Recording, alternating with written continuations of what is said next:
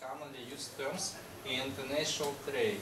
They are intended to reduce or remove altogether uncertainties arising from different interpretation of the rules in different countries. First published in 1936, the Incoterms rules have been periodically updated with the eighth version, Incoterms 2010, having been published on January the 1st, 2011. Incoterms is a registered trademark of the ICC. So history. Incoterms rules began development in 1921 with the forming of the idea by the International Chamber of Commerce. In 1936, the first set of the Incoterms rules was published. The first set remained in use for almost 20 years before the second publication in 1954. Additional amendments and expansions followed in 1967, 1976, 1980, 1990, and 2000. The eighth and current version of the Incoterms rules, Incoterms 2010, was published uh, January 1st, 2011. So about Incoterms 2010. Uh, the eighth uh, published set of predefined terms Incoterms 2010 defines 11 rules reducing the 13 used in Incoterms 2000 by introducing two new rules. It's uh, delivered terminal and delivered place, so DAT and DAP, DAT and DAP. That replace four rules of the prior version. Uh, DAF delivered runtime, delivered at ship, DS, delivered quick, uh, DQ, delivered duty unpaid, and DU. So that's DU. In the prior version, the rules were divided into four categories, but the 11 predefined terms of Incoterms 2010 are subdivided into two categories based only on method of delivery. Uh, the large group of seven rules applies regardless uh, of the method of transport, of transport with the smaller group of four being applicable uh, only to sales that solely involve transportation over water. So on the slide you can see all 11 rules. For example, let's talk about XV, ex works, uh, named place of delivery. The seller makes the goods available at its premises. This term places the maximum obligation on the buyer and minimum obligations on the seller. The ex works term is often used when making an initial quotation for the sale of goods without any costs included. XV means that the seller has the goods ready for collection at his premises, for, uh, for example, works, factory, warehouse, or plant, on the date agreed upon. The buyer pays all transportation costs and also bears the risks for bringing the goods uh, to their final destination. The seller doesn't uh, load the goods on collecting vehicles and doesn't clear them for export. Next term is FCA, uh, free carrier. The seller hands over the goods cleared for export into the disposal of the first carrier at the named place. The seller pays for carriage to the named point of delivery and the risk passes when the goods are handed over to the first carrier. CPT. Uh, carriage paid to. The seller pays for carriage. Risk transfers uh, to buyer upon handing goods over to the first carrier. I'd like to add that uh, not only one uh, rule is used. Uh, parties can include uh, more than one rule, for example, two rules, for example, XV and CPT in the, the agreement. Next one is CIP, carriage and Insurance paid. The containerized transport multimodal equivalent of CIF. Seller pays for carriage and insurance to the named destination point, but risk passes when the goods are handed over to the first carrier, uh, DAT, delivered terminal.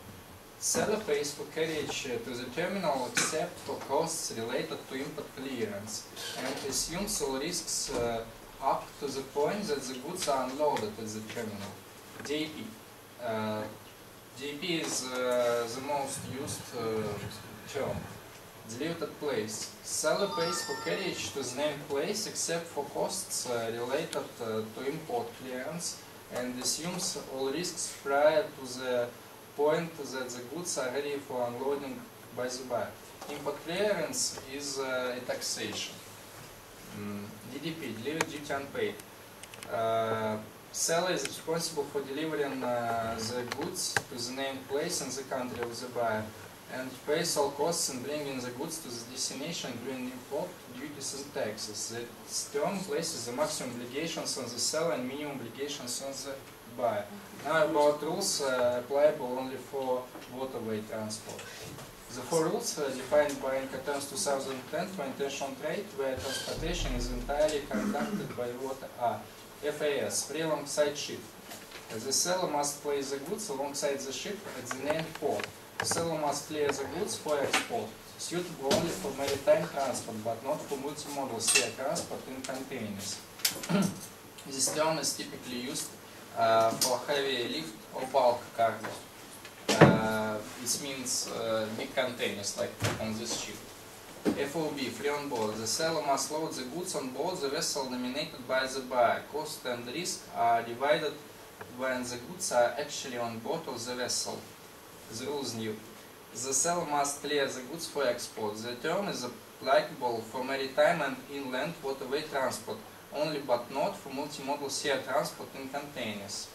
The buyer must instruct the seller the details, the vessel, the vessel and the port where the goods are to be loaded, and there is no reference to provisions for the use of a carrier or forwarder. CFR, cost and freight.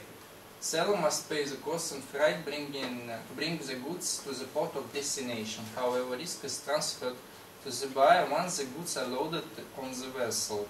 Uh, maritime transport only and insurance for the goods is not included. CIF, cost, insurance and freight, exactly the same as CFR except the seller must in addition procure and pay for the insurance, maritime transport only. Uh, now I think uh, the next important part is about rules that have been eliminated uh, from the Incoterms. Here you can see the countries that, use, that are using the Incoterms, they are marked with green. Uh, DF, delivered at frontier. Uh, the term can, uh, uh, can be used when the goods are transported by rail and road. The, the seller pays for transportation to the named place of delivery at the frontier. The buyer arranges for custom clearance and pays for transportation from the frontier to his factory.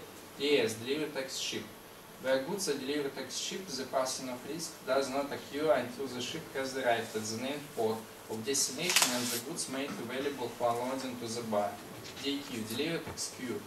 This is similar to DES, but the passing of risk does not occur until the goods have been unloaded at the port of destination. And DU, delivery duty unpaid. This term means that the seller delivers the goods to the buyer to the named place of destination in the contract of sale. The goods are not cleared for import or unloaded from any form of transport at the place of destination. The buyer is responsible for the costs and risks for the unloading duty and any subsequent delivery beyond the place of destination. Mm, thanks for your attention. Well, I have a question. I could see that not all the African countries, or almost a few, few African countries, use Incoterms. How can they understand, uh, or how do they come to an agreement, how to carry, what to do?